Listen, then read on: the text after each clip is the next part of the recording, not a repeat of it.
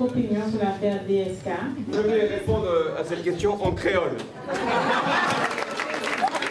Pour que la presse euh, française ne puisse rien comprendre mon propos. Que pensez-vous de la plainte déposée par Tristan Bannon contre Dominique Strauss-Kahn pour tentative de viol? Je n'en pense rien parce que je ne connais pas le fond de cette affaire et que je n'ai plus envie de commenter ce torrent de boue et permettez-moi de le dire, ce torrent de merde qui envahit aujourd'hui les ondes et la vie politique française.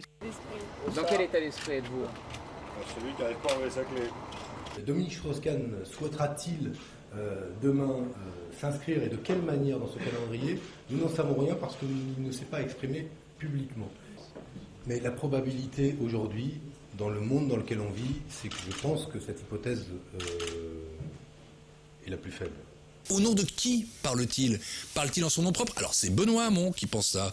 Euh, c'est pas forcément Ça tel ou tel. compliqué. Bah, et si c'est pas Benoît Hamon, c'est qui? C'est Martine Aubry C'est euh, Arlène Désir? C'est quoi? Bah, le Parti Et- Socialiste, puisqu'il est porte-parole du eh Parti ben, Socialiste. Est-ce que le Parti Socialiste aujourd'hui est en train de penser que l'hypothèse d'un retour de Microscan, si l'hypothèse est J'en sais rien, moi j'écoute Benoît Ben, Hamon, il dit ça, donc je pense que c'est le PS qui donc, parle. donc nous sommes en train de discuter nous-mêmes et Ouais. de vérifier à quel point cette situation compliqué. est intenable. Vous savez que cette décision, on ne la prend pas à la légère. Je l'ai prise à un moment donné. Cette candidature est là. J'irai bien sûr jusqu'au bout. Je m'inquiète que le Parti socialiste soit solidaire d'élus dont les liens avec le grand banditisme euh, apparaissent. Euh, je suis désolé, il y a un système affairiste au sein euh, du Parti socialiste qui n'a rien à voir avec le socialisme. Ce monsieur Montebourg, il est heureux devant la presse. Pourquoi? Dans ses envolées lyriques, il croit que tout le monde euh, l'écoute. Le peuple de France l'écoute. Oui, il est tellement bas dans les sondages qu'il a beaucoup de travail à faire. Au niveau d'Europe Écologie, Eva Joly semble bien placée. Est-ce que ça vous surprend? Ça m'a surpris un peu quand même.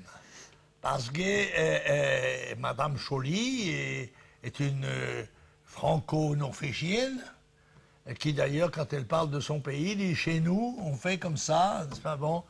Et elle a, elle a battu au premier tour le pâle Monsieur Hulot. Je peux quand même très très bien comprendre qu'Eva Joly n'ait pas forcément, d'avoir envie, euh, pas forcément envie d'avoir à ses côtés euh, un ex-animateur de télévision, représentant des multinationales et suppôt de la droite, puisque c'est à peu près l'idée qu'elle a de moi.